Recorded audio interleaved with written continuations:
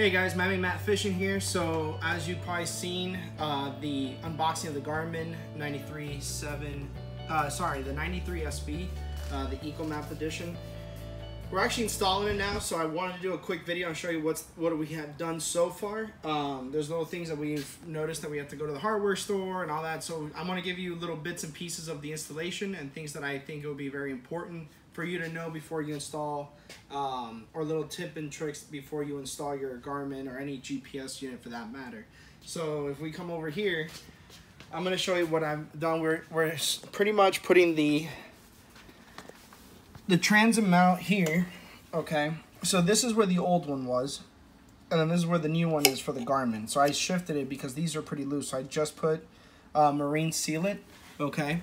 So the marine sealant is pretty much, uh, it's 3M marine, marine adhesive sealant. It's a fast cure. It takes about 24 hours. It's a white one. There's clear. Uh, I use the white because I wanted the 24 hours to get out there and fish quicker. Um, with that being said, though, I used the drill bit that was, let me make sure. I used the drill bit first. No, actually, first, I used the piece of paper that it came with the Garmin. Alright, so what we did here was tape the gar tape the piece of paper. It's like a kind of a a stencil, or not a stencil, a uh, marker. Okay, and you see how the corners have to be at the bottom, and you tape it and then you kind of make a mark where those screws will go. So it's very important to use this. I was very helpful. Thanks to Garmin for putting that in the box. And then what we did was another tip that you'll see with the Garmin is I took off the tape, but if you can see here, maybe with the sealant, I put it here. When you have to drill in, or use the drill bit and drill in, actually put a piece of tape on, uh, kind of you have to measure the screw and put the piece of tape on there. So when you're drilling in, you're not going to go deep or you're not to you're going to stop where you need to stop so that piece of tape idea was great and that was very helpful and I was able to drill into the boat right here where the transom mount is right now we're going to attach it all as you can see the wire is going to run up here this boat is not I'm not going to put the cable in the boat I'm actually going to run it up and through the I'm going to run it up here and then through the back so just letting you guys know that uh, I will not be drilling a hole for the wiring to go in. So it basically my line is just going to come up right here. Okay. As you can see, uh, the old transom mount was the old transom mount was here and the wire went up here. So I'm to probably add something here or just let the wire kind of go straight up. But so, so far that's the tips that we've been learning. Um, you got to make sure exactly where you're going to put the hole and where you're going to put it because once you drill it, you're done. The cool thing about the Garmin though if I want to move it up and down a little bit, I just have to I just have to loosen these screws right here. And then when I loosen these screws, I can just push it up or push it back down. So that's the cool part about the Garmin um, with the transom mount. So we'll keep you posted, and uh, I'm going to probably switch back, uh, do clips of these, and then I'll put them all together on a video. So with that being said, uh, we'll see where the progress leads.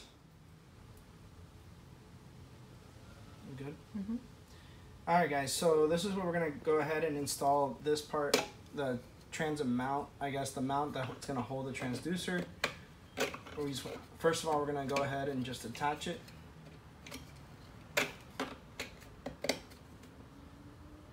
Being a little aggressive with it, be gentle.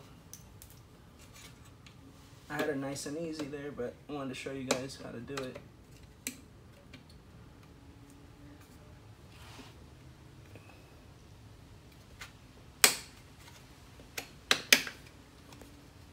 There we go. You kind of want to level with the bottom of the boat.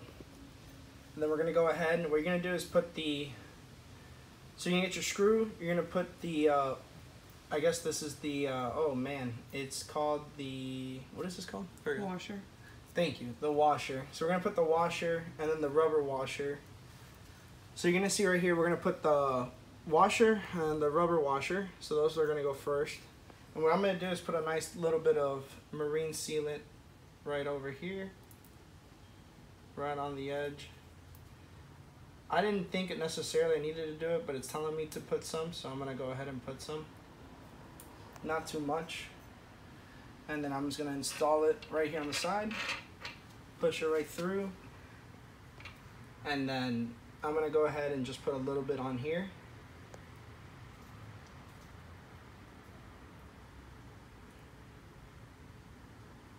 Just enough. And then I'm gonna turn. And then I'm gonna get the drill. Oh.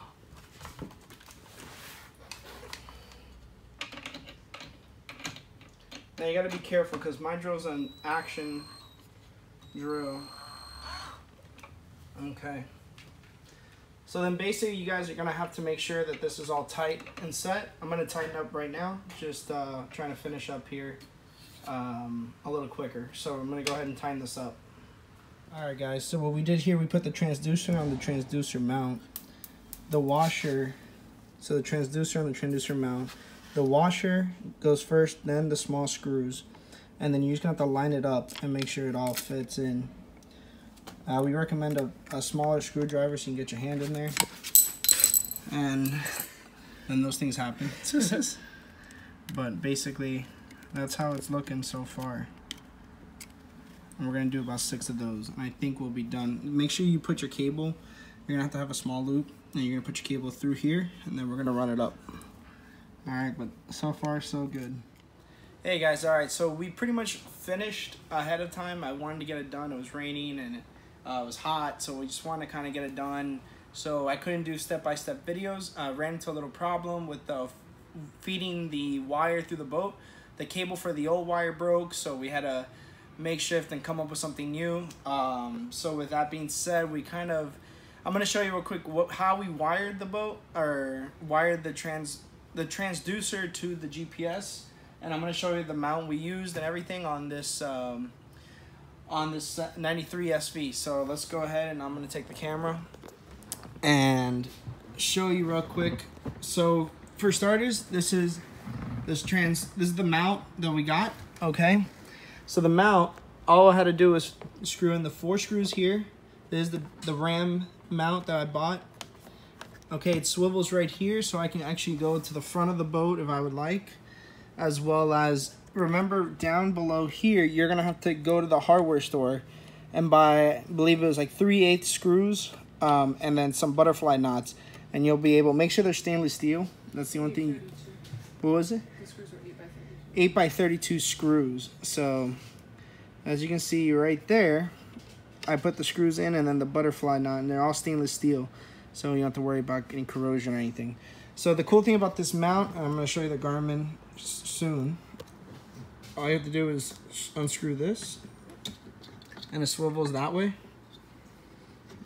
You want to tighten it up, and if you would like to, you unscrew this part, okay, and you'll be able to swivel to the front of the boat. So while we're at the front of the boat, I'll be able to see what's going on while we're riding. So instead of buying two GPSs, which I wish I could afford, I decided to do it this way so that I didn't have to worry about, I didn't have to work. I can actually for right now use it as both the GPS here as well as the fish finder and then the fish finder in the front of the boat. So now wiring, what we ended up doing was going, so yeah, I attached the back so let's start with the battery. So what I decided to do instead of fiddling with a lot of the electricity, for right now I bought a small uh, small battery. It's great, uh, 12 volt battery. That's great for um, for GPS and fish finders. I mean, this this lasts me the whole day when I was on the John boat with my other Garmin. So this, I pretty much, I'm gonna buy a smaller box and drill a hole in the box so that the wire feeds through and it's a simple and then I bought some heavy duty velcro and I'm to velcro it in the back right over there the box itself. So what I'll be able to do is just take the battery with me and charge it inside and just make life easier and I don't have to worry about running out of battery uh, for like just running out of battery in general. I can just that will last me all day. I don't know how that GPS was working. I mean that wire was destroyed and I don't know but when we went to go ahead and pull it and feed it through, it broke. So I had to make shift something, and that's what I did here. So what I'm going to show you real quick is I unscrewed this part right here, and I fed the wire, as you can see down below right here. So I still have to screw it in, and I fed the wire through here, where the handle is, and I fed it underneath.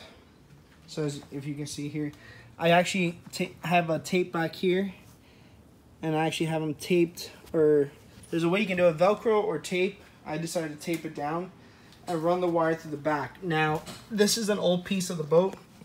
This is for a fishing rod holder. I will be removing that, so what I'm going to do is make sure this is going to fit tight right here. And then I zip tied it from here, here, and there. And then I drilled a piece of it. Let me see real quick. And I drilled a piece of it right here. So I actually had the clamps that came with the Garmin. So I just drilled it right here. This is where the old one was. I, I wanted up more, so I put it right here with some sealant too. And then as you can see, it, it runs down. So let me actually get off the boat. Try not to fall here. And as you can see, it ran right through here. And then what I ended up doing was, I know people are gonna probably hate this, that I cover the tracker, boat logo and all that, but you know what? I'd rather catch than fish. So I basically did the same thing with my, let me see if I can zoom in, clear it up. You see there's all the sealant right here, but I screwed it in and I attached the wire nice and tight so there's not any loose drag.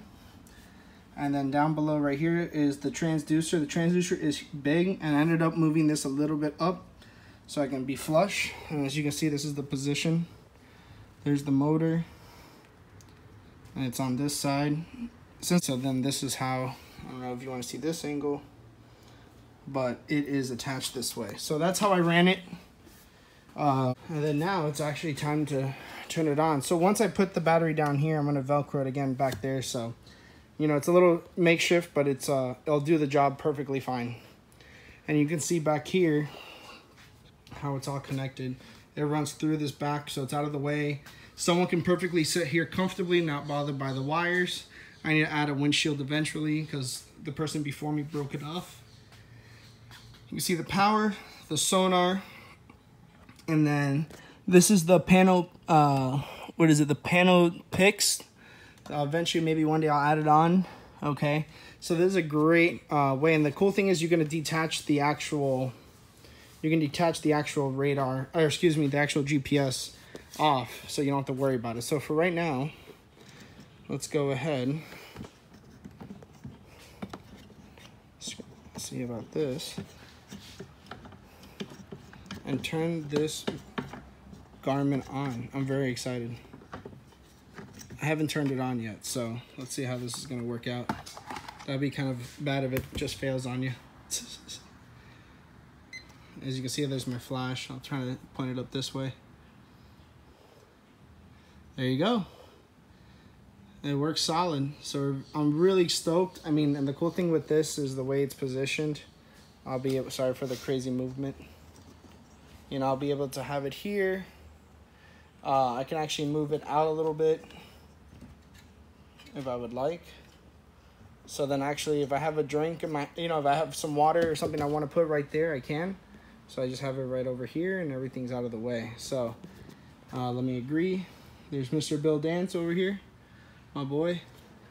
Hence why we wear the tennis. He wears Tennessee hat. I wear my Miami hat. You know, got to be a proud alumnus of it. And uh, yeah, guys, so pretty much this is how it looks from the back. And very excited to, basically very excited to have this all work out. It wasn't easy, but a couple trips to the hardware store, it worked out perfectly. So I'll put this video together. Um, I hope this helps. So I'm gonna do the unboxing video and this. I might combine into one video or two videos. Uh, you'll when you're watching this, you'll you'll know. Um, but with that being said, this is the final installation of the Garmin uh, 93 SV Echomap, so I'm very uh, very stoked that it all worked out, and then we'll see how it is when we take it into the water. So, um, but remember, guys, just go ahead and follow follow me on Instagram at Miami Matt Fishing or on Twitter Miami Matt Fishing. Uh, they told me I couldn't add the G at the end, so I had to makeshift that as well. And then, uh, guys, remember the fishing.com is coming out. I think the release is coming out in a couple days, so it's a kind of very exciting moment uh, to see how that works out. And fishing.com is uh, it's going to be hopefully a good partnership and a good friendship when it comes to that. So I'm going to stop talking. Remember, remember to subscribe and uh, have a great one, guys.